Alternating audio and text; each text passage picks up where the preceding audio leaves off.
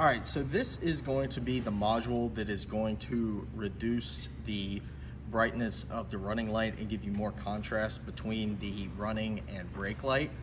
Um, the little box is going to be labeled with an in and an out. So it has, the inside has two wires. Um, it has a black and a red. The red is the power in and then the black is just ground. You're going to want to put the red one closest to the connector on the blue wire, which is the running light. And just using pliers, you just clamp this down and then it gives a good secure connection.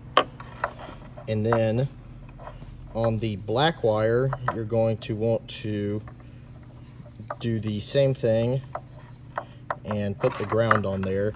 And this can be done on or off of the vehicle. Um, it doesn't really matter. I would just disconnect the connector if you're doing it on the vehicle so you're not messing with wires while they have power. And then on the outside, there is another red wire which is going to be the power out. And then the yellow wire is also going to be a ground for this side. So the yellow wire can go on that same black ground wire on the tail light harness.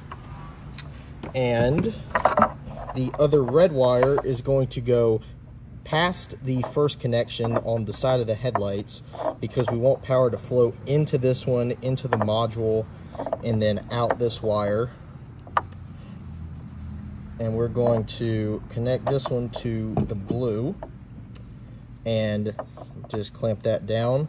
And then right here in the middle, um, we are just going to cut the blue wire so the power only goes through this module and then it will reduce the brightness of the running light.